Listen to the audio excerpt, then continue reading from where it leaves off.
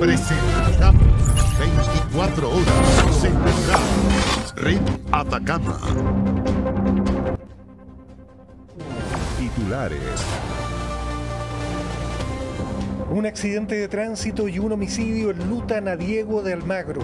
Municipio decretó duelo comunal por cuatro días.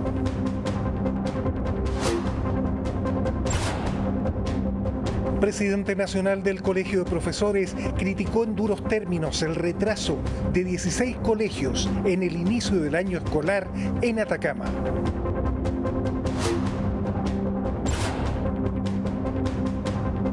Familias de personas con trastorno del espectro autista de la región celebraron la promulgación de la ley TEA.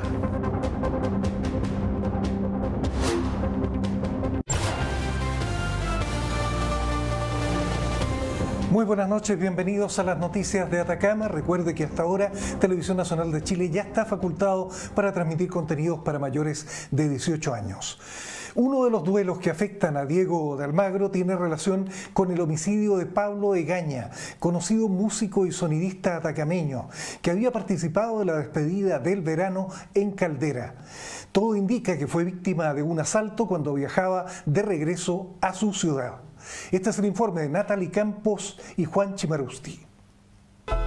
La tristeza y el desconcierto se tomaron las calles de Diego de Almagro. Según sus cercanos, el reconocido músico Pablo Egaña Tavilo regresaba a su casa tras participar en la producción de la despedida del verano en Caldera, cuando al detener su vehículo en la ruta 5 Norte, delincuentes se lo atacaron con un arma cortopunzante.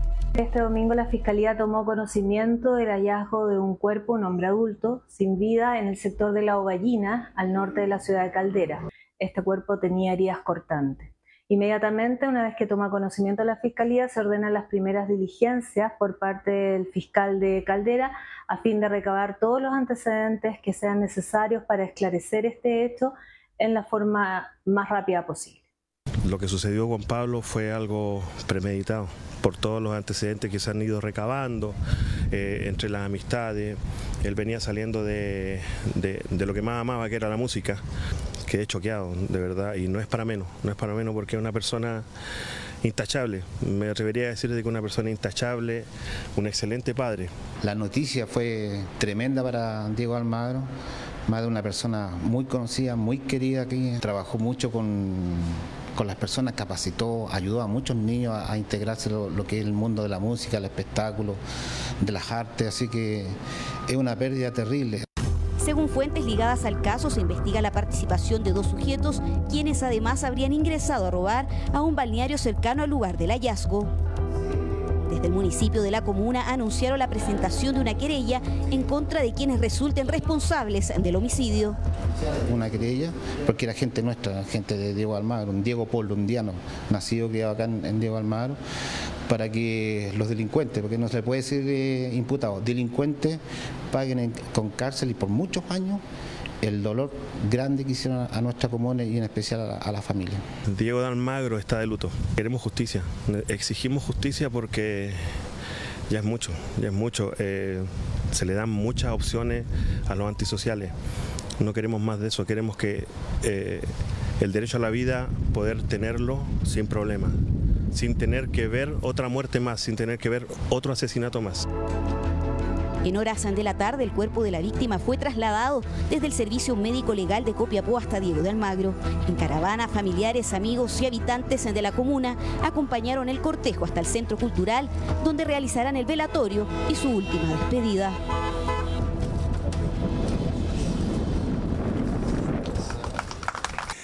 Por otra parte, un accidente de tránsito dejó dos víctimas fatales, integrantes de la familia de una concejala de Diego de Almagro. Estaban a pocos minutos de llegar a Diego de Almagro cuando un accidente de tránsito impidió su regreso a casa. Estefania Astorga, concejala de la comuna, viajaba en un vehículo junto a su familia, el cual volcó a la altura del kilómetro 121. Dos de los cinco ocupantes fallecieron en el lugar había habido una pérdida del control de la maniobrabilidad del vehículo eh, volcando eh, y eso produjo que justamente eh, tanto las personas que iban en los asientos delanteros cierto salieran eh, eyectadas. Una falleció en el lugar y la otra falleció en el hospital de Diego Almagro mientras recibía atención médica. Era una familia compuesta de tres adultos y dos eh, niños. Una de las adultas está actualmente hospitalizada en el hospital de Copiapó, uno de los niños está en la UTI, según se, pudo recabar la información, y otro de los niños va a ser dado de alta en, el pronto plazo por cuanto sus lesiones eh, permiten cierto que lo den de alta. Hasta el momento se desconocen las causas que originaron el fatal accidente. Personal de la sección de investigación de accidentes de tránsito y el abocar de carabineros realizaron las pericias para elaborar el informe que permita esclarecer lo sucedido. Por estos dos hechos, el homicidio y el accidente de tránsito, el municipio de Diego de Almagro decretó un duelo comunal que se prolongará hasta el próximo jueves 9 de marzo. En otros hechos, como una falta de planificación inexcusable, calificó el presidente nacional del Colegio de Profesores el retraso del inicio del año escolar, que afecta a 16 recintos educacionales de la región por problemas de infraestructura. De cualquier modo, el regreso a clases se notó en las calles. Algunos comenzando la segunda semana de clases y otros recién partiendo. Así lucían las principales avenidas de Copiapó en este también llamado Superlunes. Desde temprano las autoridades monitorearon el comportamiento del tránsito que en algunos sectores fue dirigido por carabineros. A diferencia de las jornadas anteriores, se registró un mayor flujo vehicular. La reprogramación vimos que estaba más expedito, lo que sí ahora estaba carabinero, entonces lo real yo creo que cuando ya carabineros no estén en los puntos vamos a ver cómo se comportan los semáforos, pero sí el, el, uso que se dio sí estaba bien. Tenemos una buena impresión en terreno ya eh, respecto al al comportamiento eh, vehicular y peatonal, reiterar el llamado hacia la comunidad eh, al respeto, al cuidado principalmente del peatón. Se mantiene una alta congestión en los horarios punta y en las medidas de, mitigación son esto. Hoy día eh, nosotros nos encontramos también pudiendo evaluar estos puntos, recogiendo información para hacer las correcciones que, que ello determine. Una vez más se puso a prueba el ingreso diferenciado de los establecimientos ubicados en el sector del pueblo San Fernando.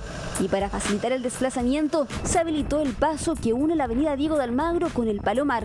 Es una alternativa que pueden tomar desde la avenida Diego de Almagro Palomar. Eh, al final de la, de la calle toman hacia el río hasta Pedro Valdivia. Solo para vehículos livianos, es importante recalcar, y es de lunes a viernes desde las 7 de la mañana a las 7 de la tarde. Nosotros siempre salimos antes de las 7.10 porque si salimos luego de las 7.10 no llegamos, llegamos a las 8, 8 y un cuarto. Acá el taco en la mañana es horrible, por eso es mejor venirse caminando. Me vengo en auto, pero eh, igual es como mucho taco, me demoro mucho en llegar a veces. Un nuevo año escolar que se inauguró en la Escuela El Cheñar de la capital regional. En la actividad participó el presidente nacional del Colegio de Profesores, que fue enfático en manifestar la falta de planificación en relación a los problemas de infraestructura de los 16 recintos educacionales de la región que aún no han podido retomar sus actividades. Nos parece que aquí lo que ha habido lamentablemente de parte de las autoridades también es eh, poca planificación y no se han hecho los ajusten y los arreglos como corresponde en los tiempos precisos. Venimos de dos meses en los cuales se debieron haber aprovechado fuertemente. Hemos avanzado importantemente, se han resuelto asuntos históricos el año escolar se inicia a más tardar la próxima semana con normalidad y por otro lado vamos a resolver los asuntos pendientes todavía en infraestructuras envejecidas mientras desde el gobierno regional se comprometieron en trabajar para avanzar en soluciones concretas. Además, desde Educación adelantaron que están gestionando la posibilidad de levantar una escuela modular en la capital regional que sirva como alternativa para aquellos recintos que se encuentran en obras de mejoramiento. En el marco de un convenio de programación que lo queremos sellar en el transcurso del primer semestre este año, nos vamos a hacer cargo de las necesidades de infraestructura de todos los establecimientos educacionales de la región de Atacama. Hay colegios que hay que eh, materializar proyectos de conservación, en otros casos reparaciones. Tenemos importantes eh, gestiones ya sea con, con el gobernador para ir buscando medidas que prontamente nos permitan tener quizás una escuela modular que sea escuela pivote para ir trasladando a las distintas comunidades educativas e ir eh, reparando es la evaluación a los primeros días del ajetreado marzo y el plan con que las autoridades buscan mejorar la conectividad.